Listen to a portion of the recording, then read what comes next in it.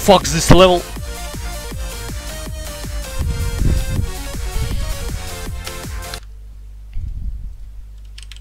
Finally I beat this.